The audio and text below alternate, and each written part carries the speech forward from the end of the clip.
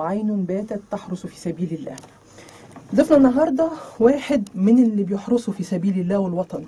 فقد عين من عينيه علشان يحافظ على حياة المواطنين من عصابة إرهابية ما تعرفش غير الدم والغل والحقد. هو له نصيب من اسمه ساطع لأنه بطل ساطع في قلوب المصريين الشرفاء. ضيفي ضيفكم النهارده هو العقيد ساطع النعماني نائب مأمور قسم بولاء الدكرور سابقا اللي ممكن تتواصلوا معاه عن طريق الرسائل 1909 أو عن طريق صفحة الفيسبوك راديو 9090 وبعد الفاصل اللي جاي هنفتح مواضيع كتيرة جدا مع ضيفي النهارده العقيد ساطع النعماني. بسم الله الرحمن الرحيم. الحمد لله رب العالمين.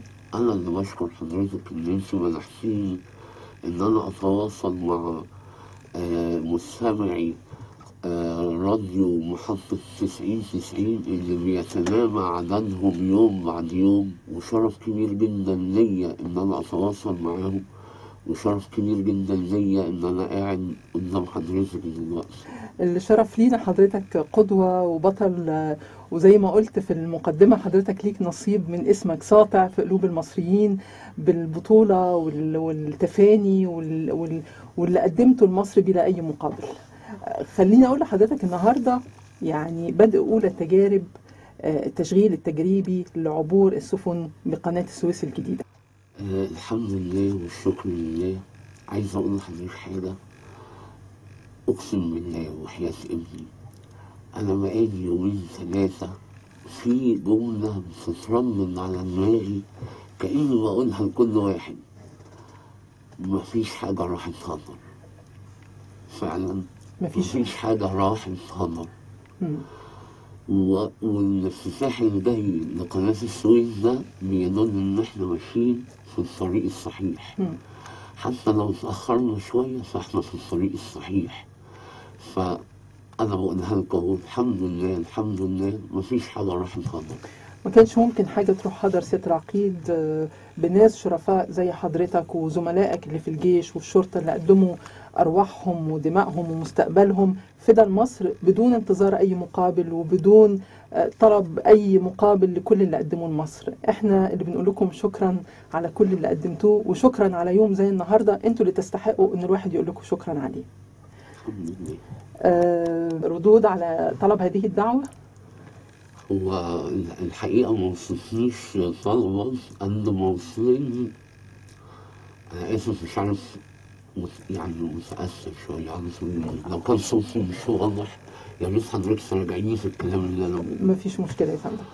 أنا ما وصلتنيش حاجة رسمية فعلا لكن وصلني كم هائل من أصدقاء على الفيسبوك وناس وصحابي في الشارع وأهل منطقتي و...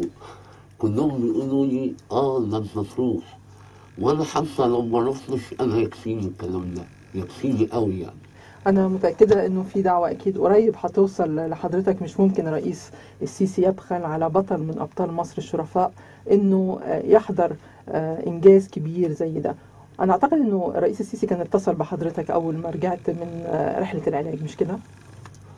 تمام يا فندم الحمد لله أنا عايز أقول لحضرتك حاجة اتفضل يا فندم. آه يعني زي ما عندنا دكتور مجدي يعقوب والدكتور عادل إمام مسؤولين عن توصيل شرايين قلوب المصريين فعندنا دكتور عبد الفتاح السيسي اللي وصل شريان حياة جديد لقلب مصر هيظهر أثره علينا وعلى أولادنا هنلاقي أثره على تعليم هيبقى أحسن من دلوقتي.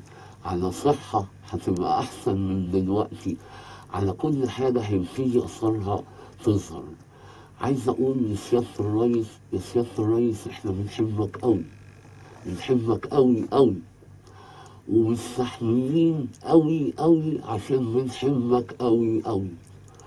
وإن شاء الله افتتاح قناة السويس ده بداية الخير اللي حضرتك جايبه لنا ضحوا في سبيل بلادهم ويصنع رجال.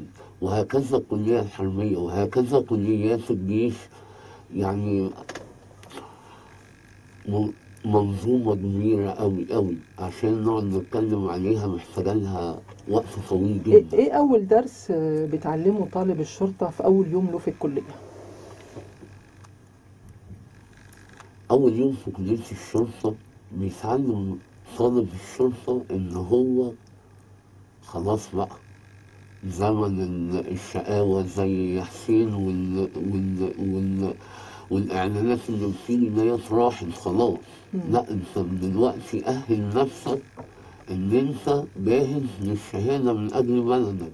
لازم تبقى متدرب تدريب تام متعلم تعليم تام جاهز في أي وقت إن أنت تروح وتأدي مأموريتك لا إما ربنا يكتب لك فيها النجاح لا إما تسترشد وتروح لجنة الخلد ده أول درس بنتعلمه في كلية الشرطة حضرتك حاجة الإنسان بيتعلم كل يوم في حياته ما بيبطلش يتعلم لغاية آخر يوم في حياته.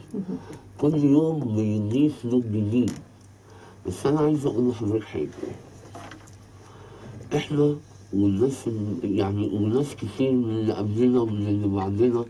دخلوا كلية الشرطة وفي دماغهم صورة لضابط الشرطة الشهم القوي اللي بيجيب حق الغلبان اللي بي بيقف قدام القوي ويقول له لأ اللي بيقف قدام الغني ويقول له لأ ما تتجمرش بغناء الملجأ لكل إنسان ضعيف.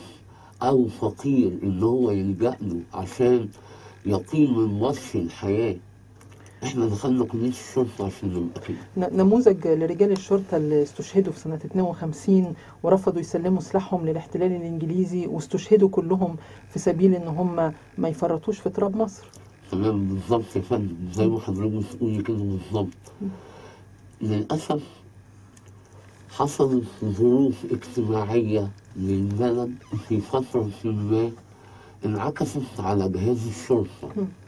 فأصبح لفترة الضابط داخل شايف المثل بتاعه ضابط الشرطة اللي بيعرف فلان وبيتقرب لفلان واللي عارف فلان وفلان إذا فهو قوي.